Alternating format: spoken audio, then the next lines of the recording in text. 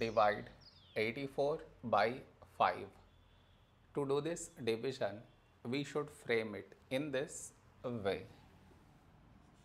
84 here, 5 here. This is your step 1. Next. Here we have 8, here 5. A number close to 8 in 5 table is 5 ones 5.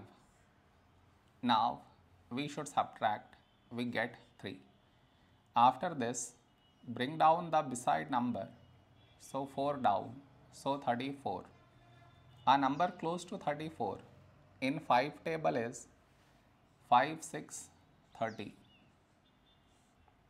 Now we subtract, we get 4.